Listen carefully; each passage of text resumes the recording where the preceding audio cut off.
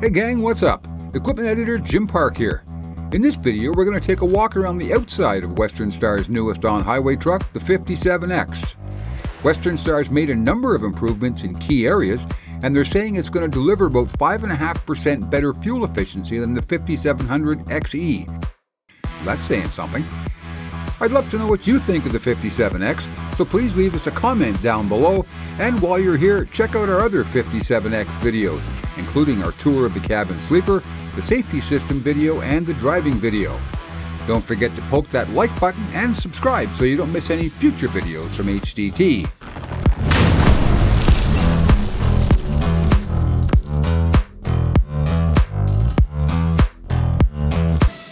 Okay, let's dig into the 57X. So we'll start over here on the driver's side with the front of the truck. Uh, from where I'm standing, you can see that the hood is, of course, sloped, and some of the corners you'll notice, compared to the older models, is uh, more rounded. Uh, so that obviously is going to improve the aerodynamics a little bit. We've got these uh, sporty looking aerodynamic intakes over here on the sides of the hood. There's also a really neat looking LED light inside that air intake. Uh, that looks pretty cool when you're looking at it from the front of the truck. And around here on the back side of the air intake is the hood latch. Uh, this is really easy to get to, no problem even if you got a big pair of gloves on. And around the front of this rounded two-piece bumper, something new here, and I wondered why they didn't do this on the first model, but this is actually a flow-through air port to uh, get a little bit of air onto the wheels and the brakes. I don't think there were any reports of the uh, tires and wheels running hot, but this is certainly going to help keep the, uh, the inner side of the wheel a little bit cooler, especially in hot weather. Coming back a little bit further here, we've got the uh, side fairing, and hidden below this is the uh, battery pack for the truck. And they've designed this in such a way that it's really easy to access. Not that you're going to be digging into your battery compartment every day, but down inside this little porthole here, there's two latches all you have to do is lift those latches up. This drops back towards you, and then you literally just lift it off. Set it aside so it doesn't get damaged in the shop. Fix your batteries, and then put everything back. It's really easy to see what you're doing. You're not going to miss connecting that down there firmly into place. And to lock it back in, you just put that back there. There's two cotter pins on each side to lock that little grab handle down so that it's not going to go anywhere. This window on the passenger side is standard. Around the other side there's a door and a window. Both are optional. You don't have to take those if you don't want them, but uh, if you do, they're in the book and you just write that into your order. Let's go on back a little bit further. I'll show you the battery system for the uh, onboard HVAC system. We'll get into some of the features of the uh, rear end of the truck. Okay, so let's have a look here on the back deck, see what we've got. So there's the two fuel tanks, of course. Uh, We've got optional uh, capacities from 60 to 150 gallons, and you can get those in uh, 10 gallon increments. Uh, these cab side extenders, sleeper side extenders, these are 24 inch. Uh, they have a 12 inch option available for day cabs. And what's interesting about these is their breakaway. The, the back piece is obviously a plastic material, it's flexible. And right down here, these are attached with these breakaway clips so that if you're doing one of those 90 degree maneuvers to back in and oops, you get a little bit too tight, prang one of these, you'll look bad for a couple days until you can get it put back on, but it doesn't destroy the whole back of the cab. Uh, back here, uh, this little deck that you stand on, it's also a battery box cover. Uh, this, these are the batteries for the onboard electric HVAC system. Okay, the other interesting feature of this new Western Star design is the clipping and routing of the cable. Uh, what they've done with this is they've created separate channels all through the frame for the fuel lines, the air lines, the electrical lines. The idea being to prevent the chafing from happening between the cables. And any technician or maintenance guy will tell you one of the biggest headaches fleets have these days is uh, chafed and rubbed wires and cable. So Daimler and Western Star have gone a long way to sort of keeping these cables tightly bundled and channeled within, uh, within their own channels here. So that's a, a nice touch. The other interesting feature here is they've reduced the amount of bundling that you have to do. In the past, you know, the OEMs would cut a harness so many feet long, and regardless of how many feet your truck was, they just bundle up a bunch of wire, stuff it in the frame, tie it in, and away you go. Within a year or two, you'd have all kinds of problems within that bundle. So they've minimized that. All the uh, harnesses and stuff are basically cut to length. So that minimizes the amount of bundling they have to do when they're putting the thing together. So let's go over onto the right hand side and have a look at what's new over there.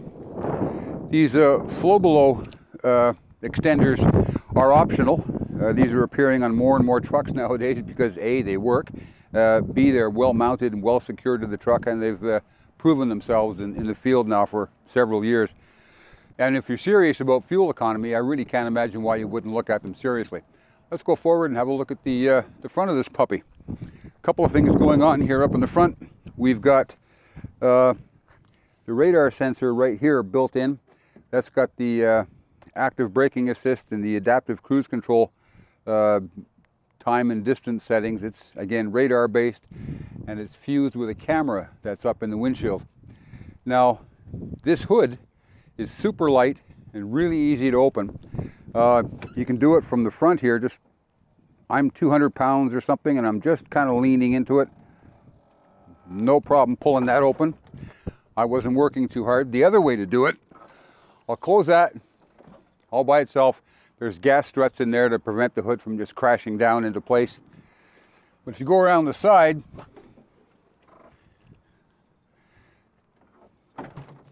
I would say even easier to open from the side. And since you're already at the latch, uh, you've got your choices on how to open it. So let's have a look under the hood here and see where some of the driver inspection points are and see what kind of improvements they've made under the hood. So underneath the hood here, we've got our uh, DD15 Gen 5 engine, 560 horsepower max and 1850 pound-feet. You know, from a driver inspection point of view, pretty much everything you need to look at is right here on the left side of the truck. Obviously coolant level, really easy to see. Uh, your power steering reservoir, again, fluid levels are really easy to see. Uh, it's not a maintenance item, but just for interest's sake, this here is the servo motor, this unit right here, uh, that controls the uh, active steering assist.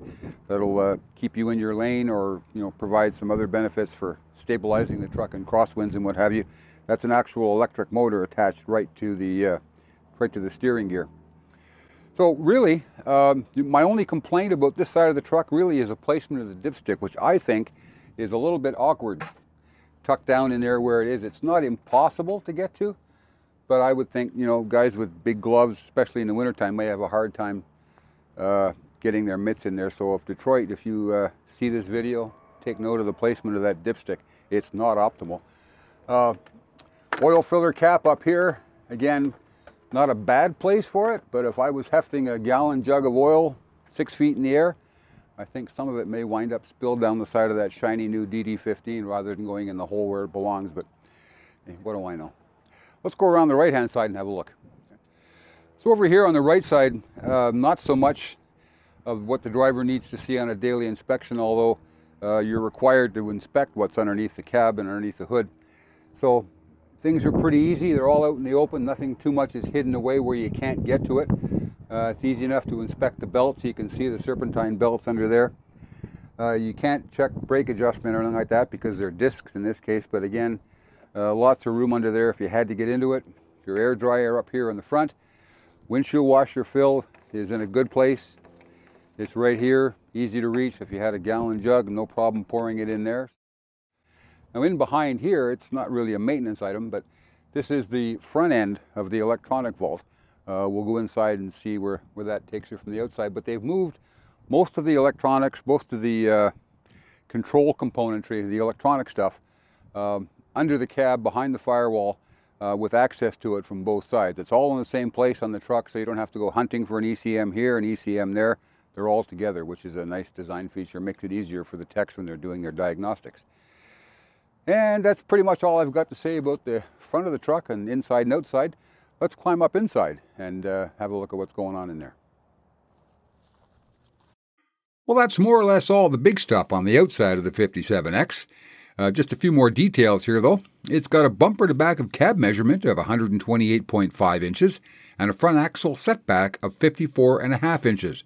It's available with a wheelbase of up to 361 inches. You've got steer axle options from Detroit, Meritor, or you can choose Hendrickson's Air Ride Steertek axle. Drive axle options include Detroit, Dana, and Meritor up to 46,000 pounds. Engine offerings are exclusively Detroit on this one. You can get the DD13, DD15, or DD16 with ratings up to 600 horsepower and 2050 pound feet of torque. The DT12 is the standard transmission offering, but drivers can still get manual gearboxes from Eaton in 10, 13, and 18 speed models. I kind of like this truck. I think it's got a big, beefy look to it, and it seems really well put together. It's pretty much what you'd expect from Western Star. There's lots more to see on the inside too, so check out the interior walk around video. We'll dig into the new digital dash and we'll take you on a tour of the new sleeper. And don't forget to check out our other 57X videos and all the other videos on our rapidly growing archive. Please give us a like, leave a comment, and hit that subscribe button. I'm Jim Park. We'll catch you on the next one.